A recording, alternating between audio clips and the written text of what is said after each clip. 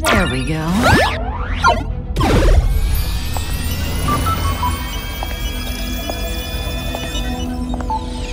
How much does she remember?